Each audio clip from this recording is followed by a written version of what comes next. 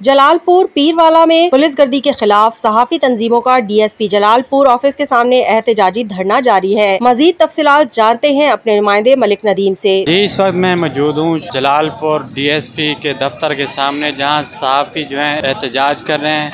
गुज्त दिन दो सहाफ़ियों के साथ पुलिस की जानब से जो है तशद किया गया था, जिसके खिलाफ दो दिनों से धरना जारी है। हमारे साथ तहसील सदर Pakistan group of journalist Madni Khan मौजूद हैं। आइए इनसे जानते हैं इस हवाले से।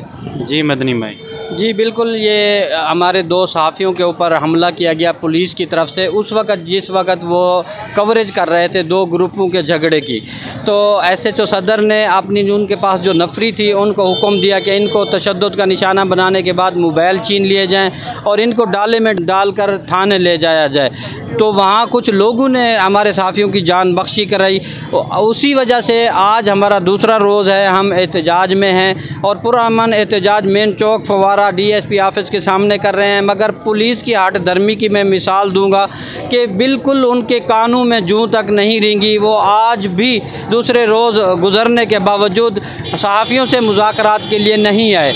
और हमने अपना मुतालबा डीएसपी साहब को भी पेश किया है सीपीओ साहब तक भी हमारा मुतालबा पहुँच चुका है और आरपीओ साहब तक भी हमने ये मुतालबा पेश किया है कि जो सहाफ़ियों पर तशद हुए हैं, उन सहाफ़ियों पर जो होने वाले तशद हैं, जो अहलकारों ने तशद किया, उन अहलकारों को मअतल किया जाए डी एस एच ओ सदर को मअतल किया जाए और एक दरख्वास्त डी एस पी के पास हमारी पड़ी है। कि उसके, उस पर अमल दरामद किया जाए। अगर ये पुलिस की तरफ़ से हमारे मुतालबात पूरे नहीं किए जाते तो हमारा एहतजाज कभी ख़त्म नहीं होगा। ये एहतजाज का दायरा कार जो है, हम वसी से वसी तर करते रहेंगे। जी, जैसा कि आपने सुना, तहसील सदर मदनी खान फरमा रहे थे कि जो पुलिस एहलकार तशद में मुलवस है, उनको फिल फोर जो है मअतल किया जाए और हमें इंसाफ फराम किया जाए। जी।